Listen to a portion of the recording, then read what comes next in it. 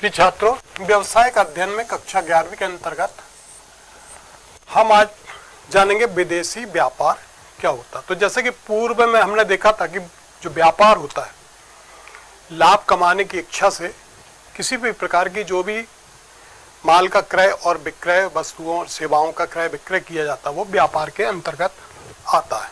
व्यापार जो होता है, वो दो प्रकार से होता है, एक आंतरिक व्यापार और दूसरा विदेशी व्यापार। तो बताया था जैसे कि आंतरिक व्यापार वे व्यापार कहलाते हैं जो कि एक देश की सीमा के अंदर किए जाते हैं, वो आंतरिक व्यापार कहलाते हैं।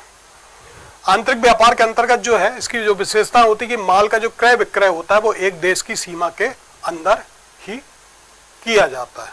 दूसरा, इसके जो भुगतान होता है, वो उसी देश की मुद्रा में होता है। और इसके अलावा देश के भीतर जो है, माल को एक स्थान से दूसरे स्थान पर भेजे जाने के बीच में किसी भी प्रकार का कोई प्रतिबंध नहीं होता।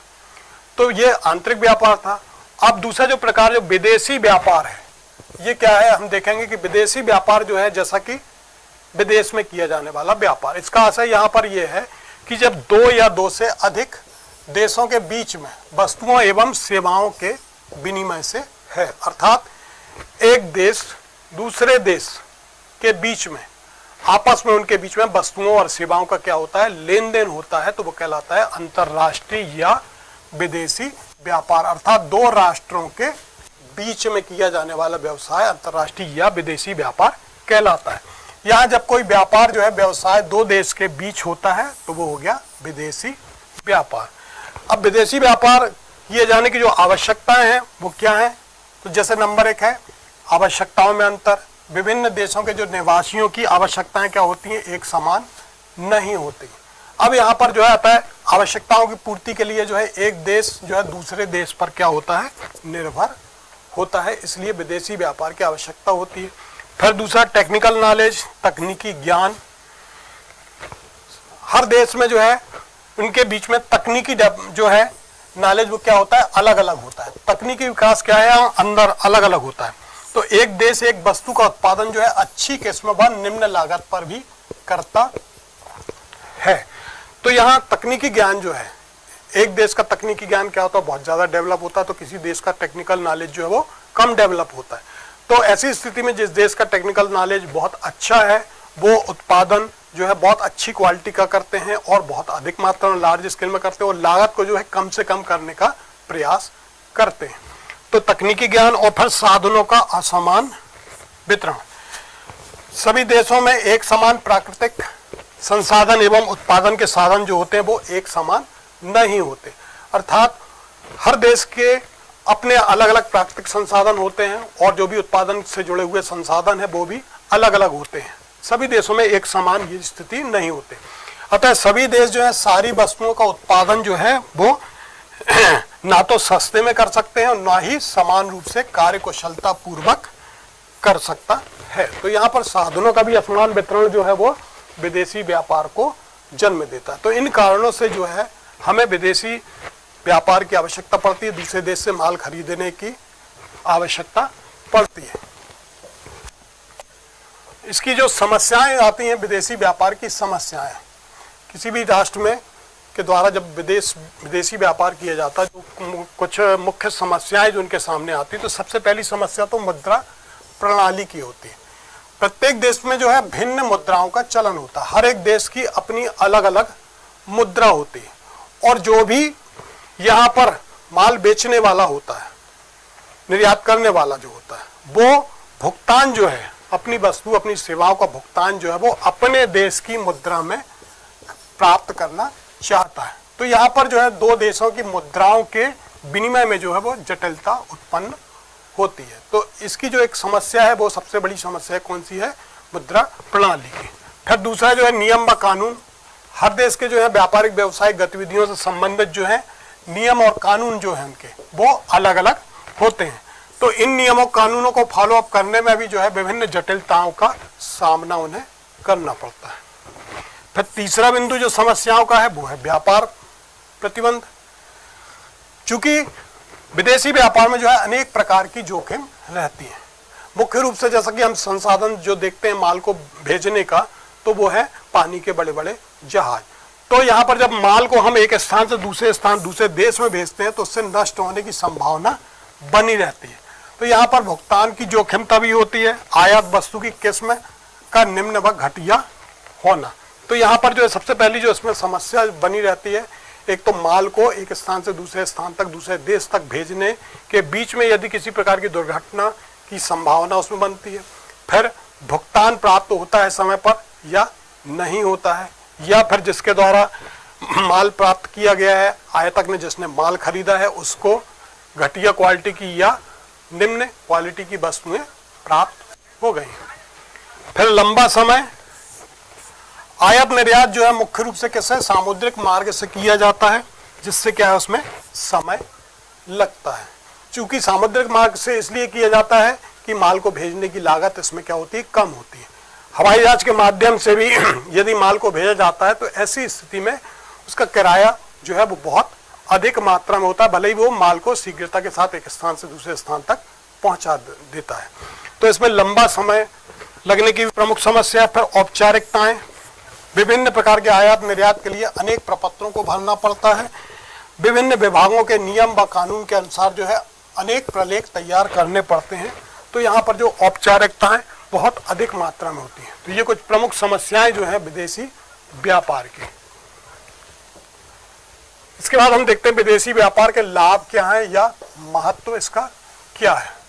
तो प्राकृतिक संसाधनों का उपयोग यहाँ पर विदेशी व्यापार के अंतर्गत देश में ऐसी वस्तुओं का उत्पादन अधिक मात्रा में किया जाता है जिनके संसाधन जो है अधिक मात्रा में होते हैं। अर्थात उस देश में जितनी अधिक मात्रा में जो प्राकृतिक संसाधन है, उनका भरपूर मात्रा में उपयोग करके जो है उत्पादन किया जाता है और उस अधिक उत्पादन को जो है दूसरे देशों में निर्यात किया जाता है। तो विभिन्न प्रकार के प्राकृतिक संसाधन और उत्पादन के जो भी संसाधन है, उनका विदेशी व्यापार के माध्यम से जो है बेहतर उपयोग किया जाता है। फिर दूसरा, तीव्र आर्थिक विकास। यहाँ पर जो है, विदेशी व्यापार में जिन कच्चे पदार्थों की कमी होती है, उनका आयात करके औद्योगिक विकास किया जा सकता है। इसी के साथ विदेशी व्यापार में वस्तु की मांग ज़्यादा हो जाती है तथा बाज़ार का यहाँ पर विस्तार होता है। तो विदेशी व्यापार में जो है, जो कच्चे पदार्थ यदि उनके पास कच्चा माल नहीं है तो उसको हम दूसरे देश से आयात करके जो है उसको पक्के माल में बनाकर जो है, हम अपने देश में और ज़्यादा औद्योगिक विकास उसका कर सकते हैं और वस्तु की मांग को हम बढ़ा सकते हैं और बाज़ार का भी विस्तार कर सकते हैं। फिर प्रतियोगितात्मक शक्ति में वृद्धि। विदेशी व्यापार में जो है, देश की फर्मों का, जो देश की उत्पादन कंपनियाँ हैं, उनका सामना जो है, विदेशी वस्तुओं से प्रतियोगिता उनको करनी पड़ती है। अर्थात दूसरे देश का जो उत्पादन है उसके सामने स्वयं को टिकाए रहना पड़ता है। तो जिससे जो है, देश की फर्में जो है, वो क्या करती हैं, अपना उत्पादन जो है, अधिक कुशलता से और कम से कम कीमत पर प्रयास करने का प्रयास करती हैं, ताकि वो विदेश व्यापार के अंतर्गत आने वाले माल का वो सामना कर सकें और अपने उत्पादन को और अपनी बिक्री को वो बढ़ा सकें। फिर बड़े पैमाने पर बचत विदेशी व्यापार में जो है बड़े पैमाने पर उत्पादन किया जाता है, जिससे क्या है कि फर्म को बड़ी मात्रा में बचत प्राप्त होती है। बहुत अधिक मात्रा में जब उत्पादन किया जाता है तो उसकी लागत कम हो जाती है। और माल की बिक्री यहाँ पर अधिक से अधिक मात्रा में करने का प्रयास किया जाता है तो अधिक से अधिक वो लाभ प्राप्त करता है। तो ये कुछ जो महत्व है इसका। और अगले बिंदु में, जैसे देखें हम रोज़गार में वृद्धि।